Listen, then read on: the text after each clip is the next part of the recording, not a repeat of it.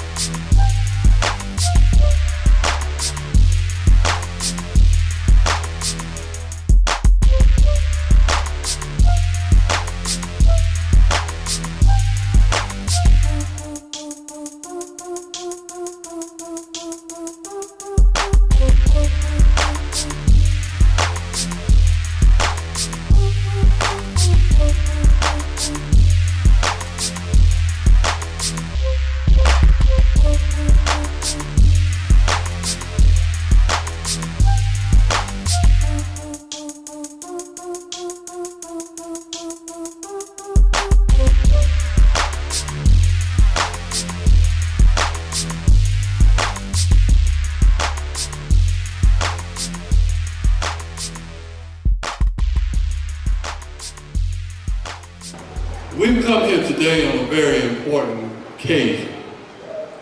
And um, I'm reminded as I sit here that not far from here is the Recorder's Court. That's right. And the Recorder's Court is another fundamental part of my development and it's a fundamental part of life in America today. right. Because it represents an institution that partakes in the incarceration of more people than any other place in the world. The United States of America incarcerates more people than any other place in the world. More than China, more than Cuba, more than Russia, more than any other place in the world. And too disproportionately. You know, and and this, this really speaks to this day, right? It really speaks to this day. This is a great day. It's a great day because it represented one of the millstones in our people's struggle for freedom. And it was a great day, I'm sure, when in 1865, when the general rode in and told our people that they were no longer enslaved, right? They weren't, never were slaves. They were just enslaved. right? They're always human beings. Don't ever forget that. And so that brightened their spirits. That helped give them a certain qualified freedom. Qualified freedom. And so it was in 1863 of January 1st when Abraham Lincoln was forced to issue the Emancipation Proclamation. He didn't do it because he liked you. Right. That's right. He didn't do it because he believed in freedom of all people. In fact, in his debate with Davis when he was running for office, he said it smack on. I, like any other white man, believe that one race has to be first and the other one after that, and I'm, of course, for the white race. That's what he said. So he let you know that he was a white supremacist. But he also realized in a certain degree of practicality, he was a little smarter than some of the southern plantation owners, the southern aristocracy. Because he could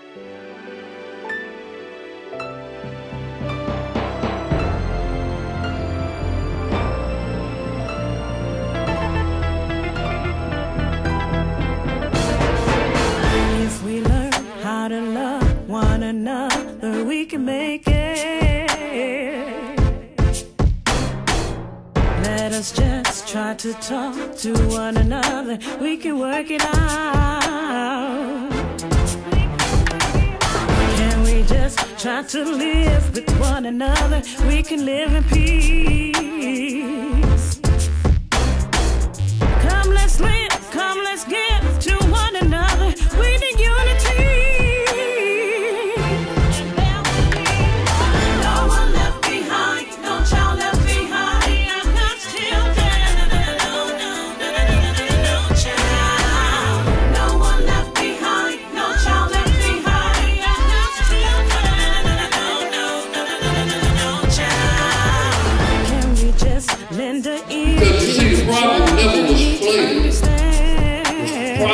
Was the fact that we had been lost our self-determination and we were taken from Africa. The problem didn't start when we got enslaved. The problem started when they snatched the first African off the coast of Africa. And that's still the problem today. The problem is not just that you're being discriminated against. The problem is that you don't make the decisions that control your life.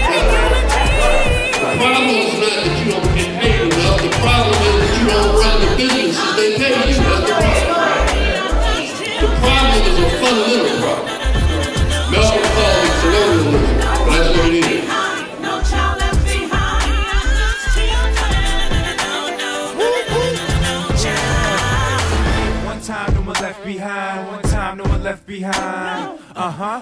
One time, no one left behind. One time, no one left behind. What you talking about? God's gift that you can't find between these little brown eyes of mine. And what I see is a whole new era. It's a feeling he can uh, show you better. Uh, there's no song composition uh-huh. that can mention his description. He always there, yep, but never missing. So uh-huh. pay attention, class of Princeton. The son died for us, now that's commitment. I know conditions ain't the best to live in, but we gotta teach the kids to be compassionate. Uh-huh. Cause they the ones who gonna be here after us. No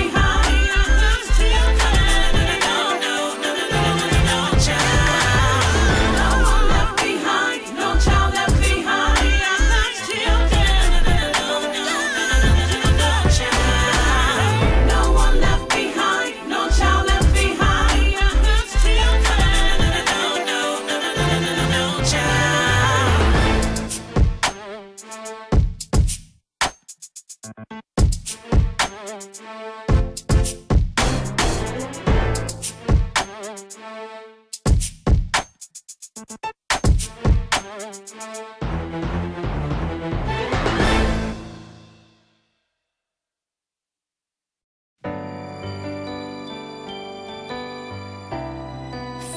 is um, a gift from God from heaven that bind um, people together. He made family for the lonely, and He made family for you and me. So we have to get together on one accord and love according to God's will as one family. God created the family to bond as one holy family tree. He gave His love to make us strong.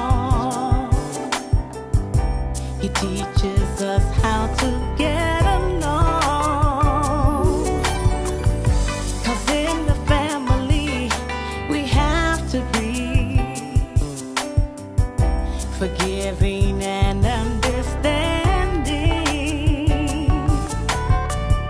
He favors you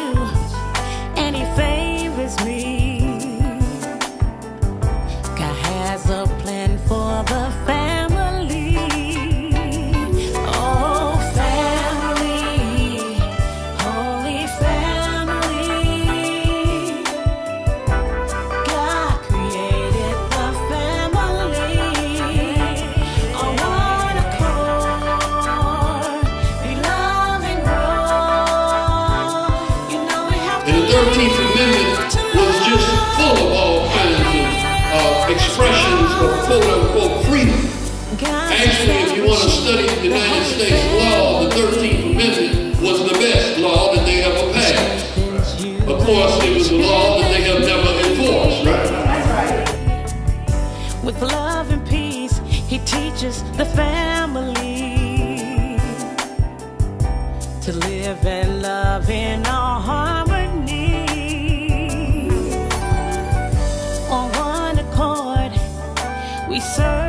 On